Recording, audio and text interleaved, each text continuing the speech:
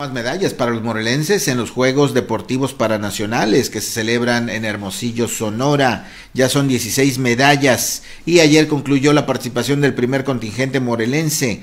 Eh, ya viene la segunda etapa, pero en la tercera jornada de actividades se adquirieron cinco metales. David Cortés, oro en lanzamiento de disco. Yasmín Barón, oro en impulso de bala. Jorge Rivera, plata en lanzamiento de jabalina. José Sánchez, plata en lanzamiento de jabalina. Ángel Guadarrama, plata en 1500 metros planos.